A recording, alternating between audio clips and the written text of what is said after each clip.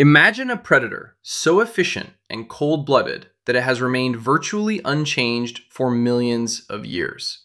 A creature that has mastered the art of camouflage so well it can disappear in plain sight while staring you right in the face.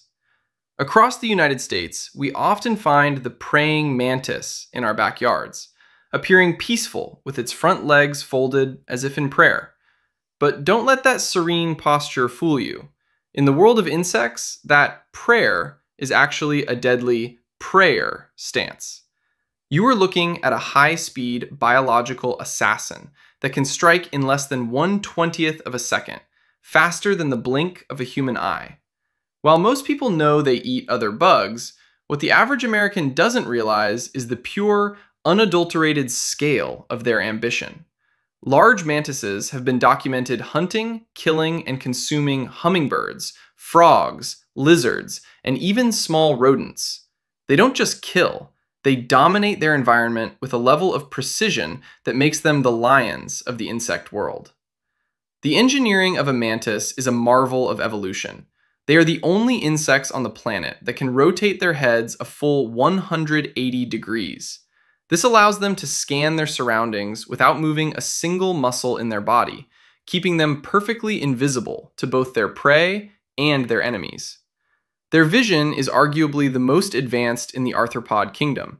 They possess two large compound eyes with thousands of individual lenses, but they also have three simple eyes located right in the middle of their forehead to detect light and motion.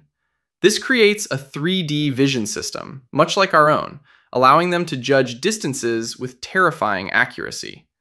When a mantis decides to strike, its front legs, equipped with needle sharp spines, snap outward and reel the victim in with a grip that is impossible to escape. They don't wait for the prey to die, they begin eating their victim alive, usually starting with the head to disable the nervous system instantly. One of the most mind blowing facts that often leaves people speechless is their auditory system. A mantis doesn't hear with ears on its head. Instead, it has a single ear located in the center of its chest, right between its legs. This ear is specifically tuned to detect ultrasonic frequencies, the exact sounds made by bats. When a mantis is flying at night and its chest ear picks up a bat's sonar, it will immediately dive bomb toward the ground in an evasive maneuver that would make a fighter pilot jealous. This is a level of tactical awareness that most people never attribute to a simple bug. Then there is the infamous and dark side of their mating ritual sexual cannibalism. While it's a popular myth that every female eats the male, it actually happens in about 25 to 30% of encounters in the wild. For the female, the male isn't just a mate, he is a massive protein boost that ensures her eggs will have the energy to survive the winter. The male, incredibly, can sometimes continue to complete the mating process even after the female has bitten his head off, as his abdominal nerves control the physical act independently of his brain. It is a brutal, cold, and calculated survival strategy that has allowed them to thrive for over 100 million years. In North America, we primarily see the Chinese mantis, which can grow up to 5 inches long, and the slightly smaller European mantis.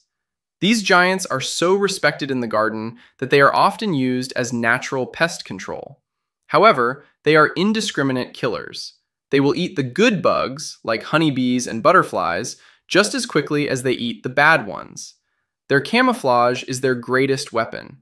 Some species look like dead leaves, others like blades of grass, and the most exotic ones look exactly like orchid flowers, luring unsuspecting insects directly into their spiked embrace.